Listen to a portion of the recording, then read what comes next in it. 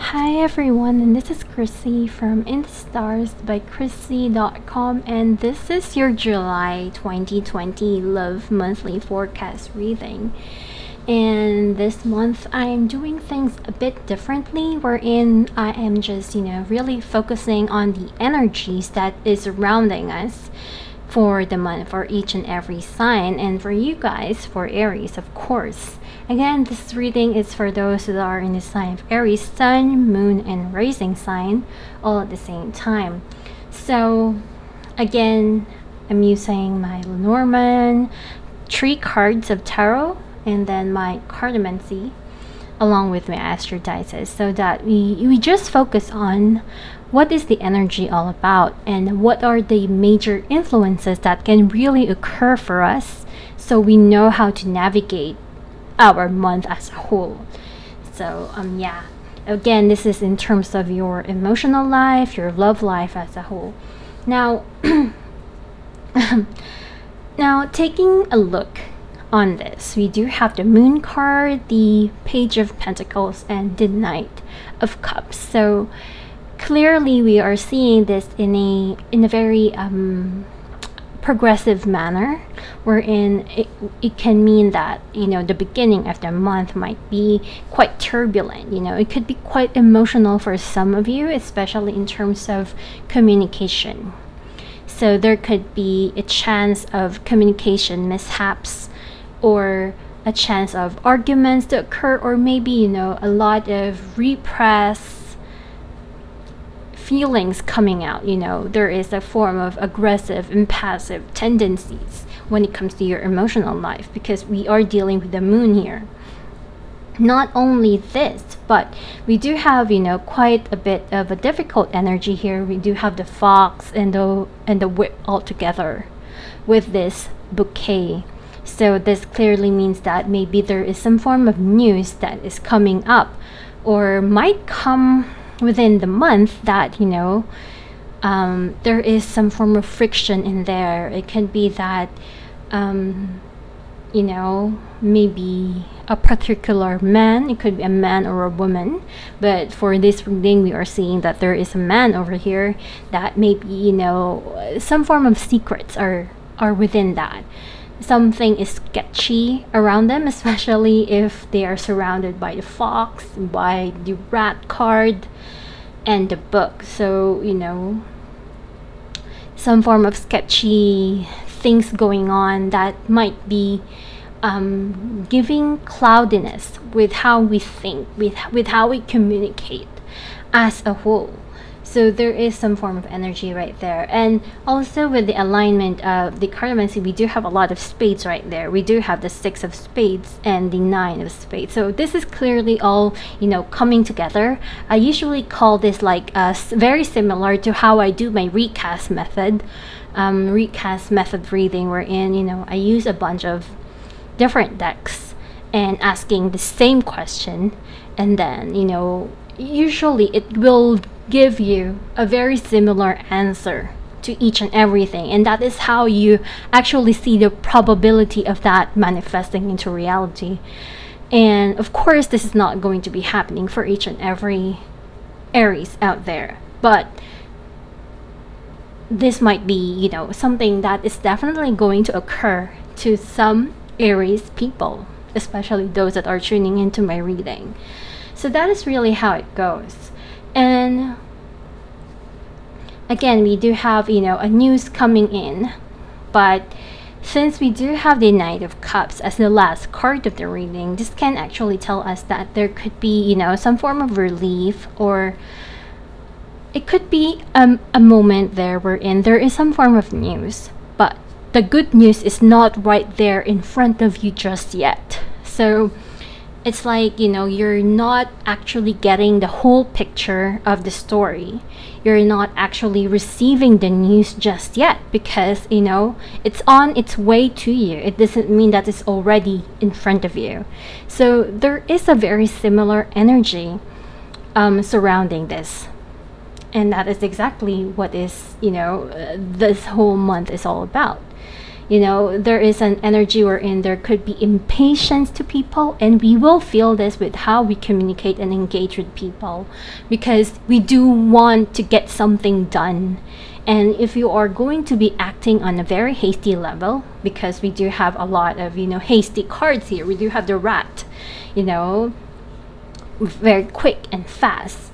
It could be someone in your field it could be you you know who is very, you know, um, not thinking clearly. They are quick and fast. They're not expressing everything that they truly feel. Yet they are, you know, wanting to have something in a in a very um, in a very I would say sexual way. This is a card wherein you know someone wants to have it all but not exactly making a commitment and that eventually leads to some form of problems into a relationship. That is a possibility. Now, this can also manifest wherein it could be that you know you you hear from an old friend and then this friend has a lot of secrets with them and you slowly find them out and have some form of friction to whatever secrets are leaking out you are going to find out something and that something can be very problematic can be very aggressive wherein you need to sort things out. This can also be a situation wherein there is a certain situation that might be manifesting and you are very quick to make a decision and that eventually leads to some form of problems you know that you need to you really need to have some form of time to sort things out. We do have the dog, the book, and the moon all together at the end of this reading, really telling us that, you know, you will learn something from someone, and, you know, it doesn't tell us what exactly is that, but this is like a really nice time to if you have a different opinion from from a friend or with your own partner, you know, you guys don't have to always be the same. You guys can argue, you guys can, you know, have some form of healthy debate. This is what I want, this is what you want. But the most important thing here is that you actually tell the person clearly and not make decisions that doesn't make sense. Like, you know, you are feeling something and then you're telling the person one part of the story and not telling them why you are why you are deriving on that story, you know, why you are deriving on that decision. So we, we can actually say that this reading is a little bit on the selfish side. At least there is someone that is selfish, that is doing things by themselves and not really considering what the other person will feel, what the other person really thinks. So there is some form of selfish selfishness in this reading. So if you are dealing with someone like that, you need to be very careful and not just agree to whatever that they truly want with you. You need to be more careful with how you give trust to people because maybe they're not showing you um, their true colors or they're not showing you um, that they can be with you for the long haul. So there could be some form of tendencies like that.